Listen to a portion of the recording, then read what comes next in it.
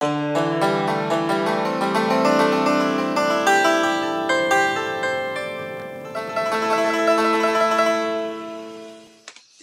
let's talk about the Mekong River. Um, we basically toured on land for about a week, uh, all of Vietnam. We went from the north in Ha Long Bay all the way down to Ho Chi Minh City.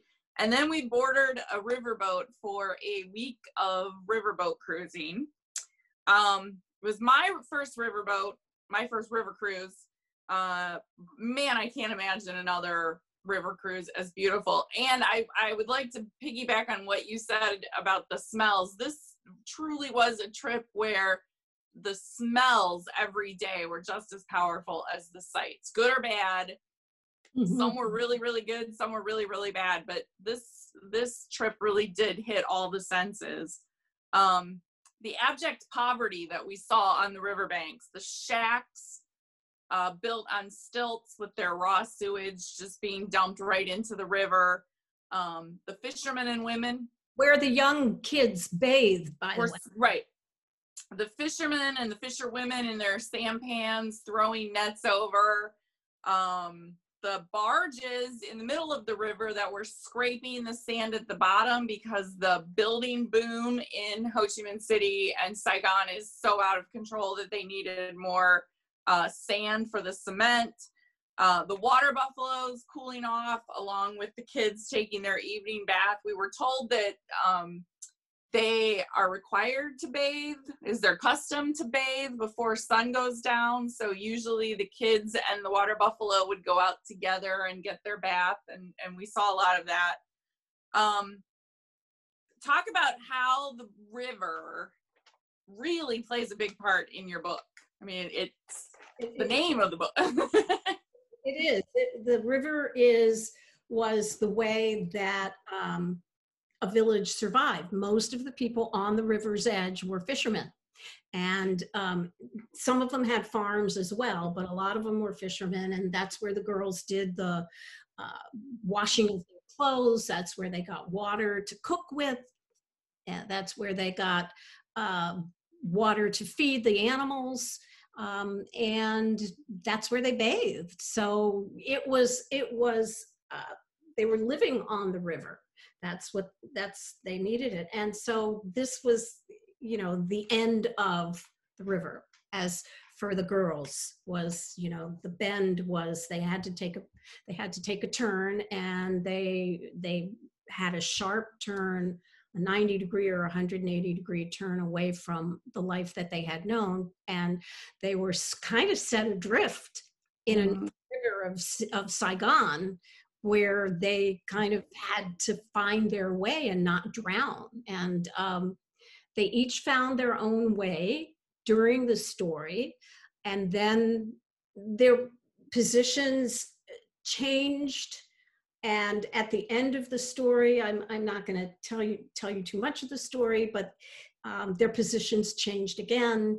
And um, so the idea of flowing and having to adjust and having to change and having to be aware of where you've come from and where you're going, um, just like you would on a river, was was really a metaphor for what happened in the story. Yeah, it was beautiful. So the two largest cities we saw, Ho Chi Minh and Hanoi, were so different from each other. Um, Ho Chi Minh is just a mammoth city. Um, Hanoi was very French. I think we expected that when we got there. Um, but they were equally fascinating to both of us. It's obvious it's a socialist con- country, but they have figured out how to work with a capitalist marketplace somehow. Um, there's a lot of Chinese money being pumped in right now, but the building boom uh, was huge. In fact, at Ha Long Bay, um, a very quiet area that people go to see the beautiful water and the outcrops of the water.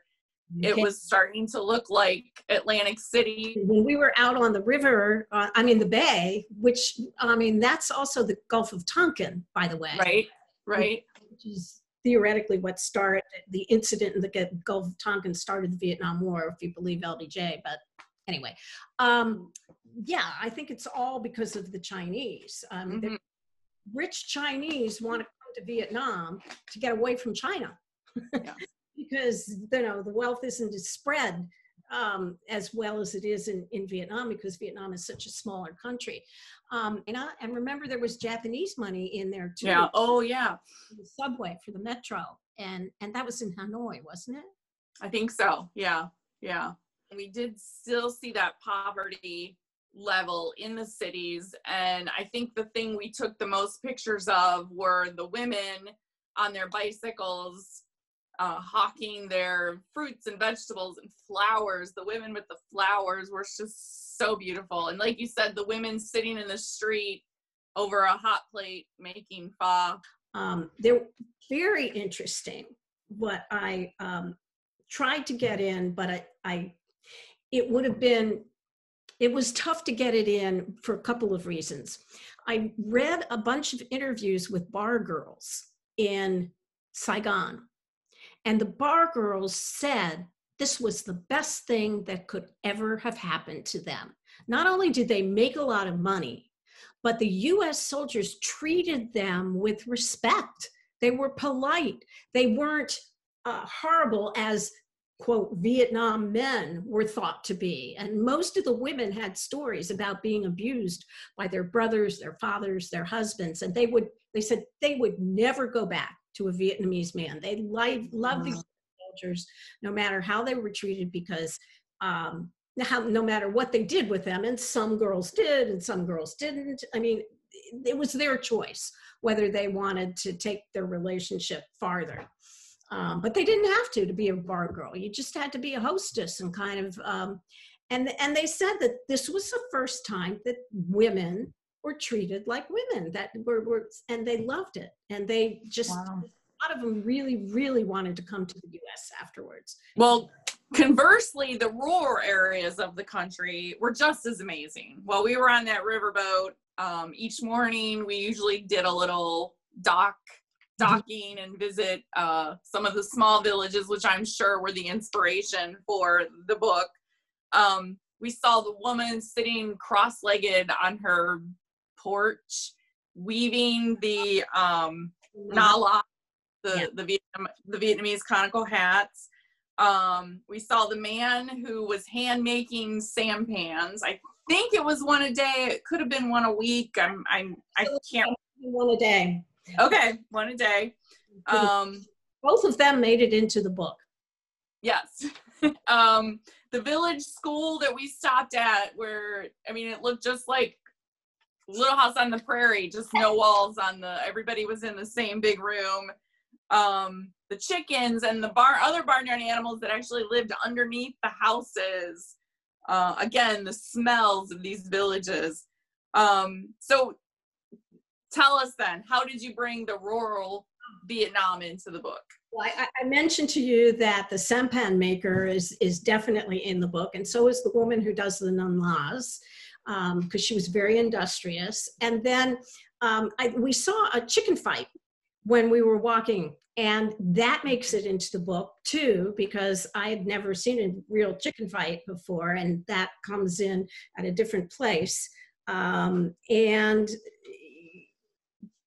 the um, we also saw, you know, what it, what was the liqueur that you were drinking? The wine? Oh my gosh, the snake wine. wine it right. was right, right, right. Not about the snake wine.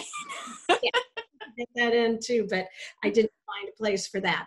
But um, the rural, the rural elements, you know, I tried to get in when I could.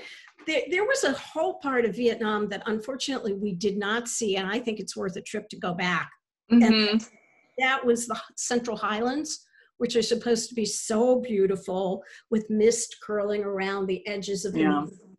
Um, and Dalat, we never went to, which is where Tam spends a lot of her time after the army, after the after the Cu Chi tunnels, which has it's a beautiful moderate space place in Vietnam. Um, it's at the foothill. It's on the foothills of the Central Highlands, and they grow beautiful fruit and vegetables.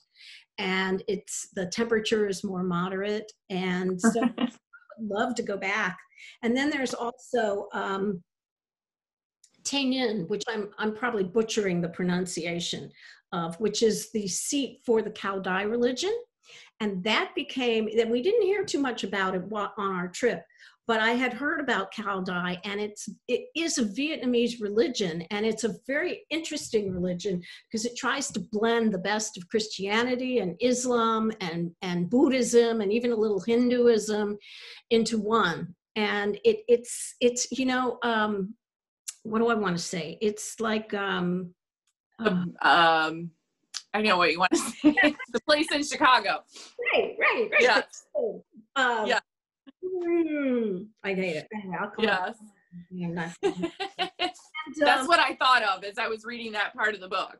it does sound very, very similar, but it's indigenous to Vietnam. It's it's the only religion that's kind of indigenous to Vietnam, and um, it was very popular. And the interesting thing is that it got politicized as, and at one point during the um, French occupation, when uh, Dien Bien Phu, when when they were trying to get the French out, they wanted the Cao Dais to be on their side. The South wanted the Cao Dais to be on their side, but then they thought the Cao Dai people were army. They eh, even raised an army. The Cao Dais were getting too much power, and Diem, Diem uh, then kind of banished them, and they went back to their little city um, outside Saigon, or a, a lot, a lot, really almost close to the Cambodian border, and um, there was always some intrigue with the Cao Dais. Were they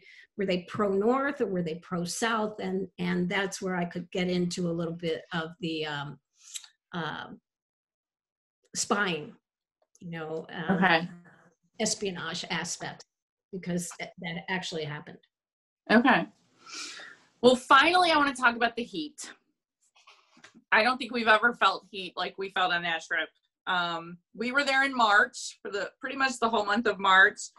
We even asked one of our cab drivers about the heat, and he told us that there were three seasons hot, hotter, and hottest. And we were in hotter, that it was actually going to get worse after we left. Um, right off the bat, you talk about the heat in chapter one. You write the hottest part of the year was approaching, and the combination of summer heat and the monsoons would produce an indolent lethargy that made even washing clothes a burden. It was perfect. Um, many afternoons we sat in our little lounge chair on the uh, deck of the riverboat with the ceiling fans going and a drink in hand, and our clothes were just completely wet. there was no point in washing them. So, as a write, I haven't really asked you about your writing technique, um, but how do you make those smells and feelings and tastes come alive in your writing like you do? all sensory. It's all finding uh, an analogy or a sensory kind of thing that brings them out. You can't do justice to the smells. It's probably the hardest thing to, um, but you can talk about how the smell made the person feel. You know, whether that, that made him want to run away or, or come closer or, or something like that. Um, but the heat was was another thing that was really hard um, to really um, process because we have no as americans we have no real way of comparing it now interestingly i got uh, you know i've got advanced reviews and a fellow just reviewed the book and he said i was wrong and that march was the hottest time of the year because you know uh, because the monsoons would come in june and july well what about april and may you know I, right. I, I think he was a little he wanted to nitpick you know Yeah. because it really they everyone you and i talked to said oh it's going to get even hotter than this right. Right. one day And- i was so hot i couldn't go to see uh, i had to come back to the boat Yeah. Um, if anybody wants to know, we were told October is the perfect time to go. So October is your month in vietnam next time we'll go in October. well, So- that's all I have. Thank you so much. This has been fun reliving this trip. really Oh. was. It really was a trip of a lifetime. And uh, like I said, I wouldn't mind going back for a week or 10 days to see what we missed. Yeah. The I think I'd stay longer though. That flight, whew, Or that we tough. maybe go someplace else. We'll have to figure it out. I- I don't know. I'm ready. Well, as soon as the the COVID is over, I'm ready. I said, I'm not sure I really want to go to China, but um, Japan's a possibility. That's true. Sure. Thanks. All right. Thank you very much. You can see the cover of the book behind me. That's the poster that I made. So the book will be out in uh, officially in October. But um, if you're really nice, we might be able to arrange for for your some of your uh, legal scholars to get uh, an advanced reading copy. Okay. All right. And and if you do want to just put a plug, the the artwork on the cover was based on a beautiful piece of art that you purchased while in Ho Chi Minh City, right? Right, right. Yeah. You know, I found out I, I was pursuing the rights to that because, you know, I needed to hear that. I did do that. I did lawyers. I did all those rights. And I found out some very interesting things, which I will tell you about, about oh. uh, later. Okay. All right. Thank you. Thank you, Angela. See you soon. Okay, bye. Bye.